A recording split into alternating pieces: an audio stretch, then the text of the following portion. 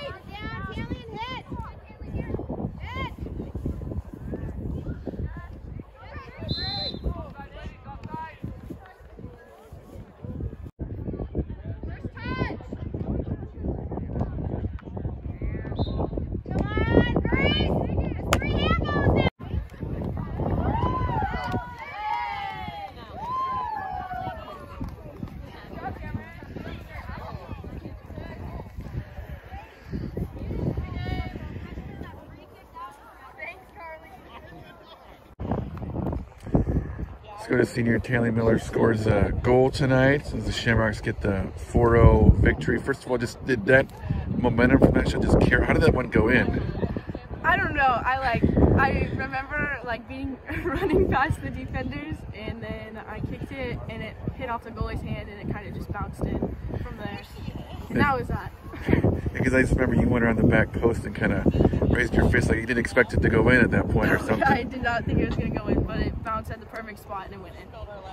Well, you guys shut them out. Um, you haven't allowed a lot of goal yet, you know, in, in the postseason. And just what did you like about what you guys did it overall tonight? I felt like we connected our passes really well tonight, and just our talking communication is on point. Lots of uh, good touches and good passes. You know, obviously you guys beat them early in the season, but they started 0 4 and then won, won six or seven matches in a row. And just what what was the kind of the you know the, the conversation or the concern level about just how different maybe Lakeview was than six Yeah. weeks ago? Well, every team gets better throughout the season, so we knew we still had to like come out and give it our all and just play how we know how to play.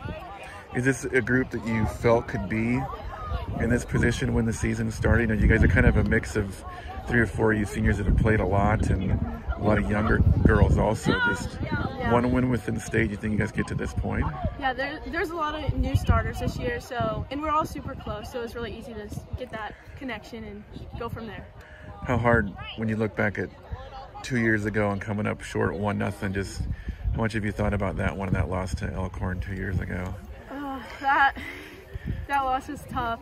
I remember just being so proud of our team. We had so many shots on goal that year, and we just could not finish that game. But that's okay. We still played our hearts out, and I love that team so much. That was my favorite team.